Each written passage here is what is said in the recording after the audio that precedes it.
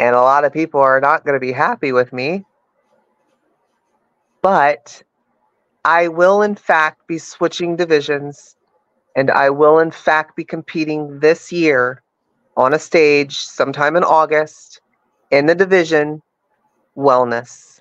She's breaking in, people. There's breaking. This, this, this dropped. She dropped it. She's competing wellness. She's moving over to the dark side.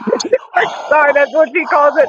But I don't see it like that. It's the light side to me. I, I, I know, but you know, I don't do a lot of content on bikini. I've done some interviews with girls in figure. I've done some interviews girls in bikini.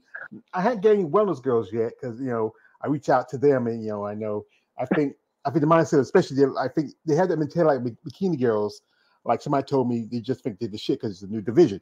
But I've seen, yeah, there's quite a few ladies who's been jumping over. I mean, uh, I know yes. Daphne Carter. Yeah, Daphne Carter, she jumped over, but she went back to wellness. She went back to physique. Um, I've and, seen some. Yeah. I've seen some other figure plenty. girls. Yeah, I've seen some other figure girls. I think with Daphne because she has bigger arms and it just didn't work for her. Mm-hmm. Yeah.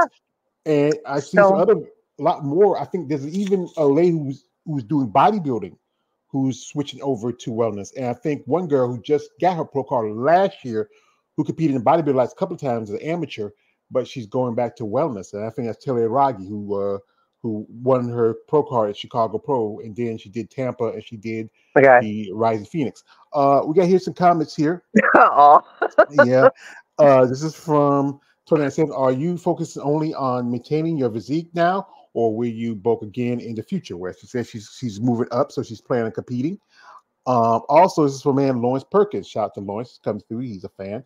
He says, "This is good afternoon, Jada, George, and everyone on the chat. How are you all doing this afternoon? Thank you, brother. I'm doing fine.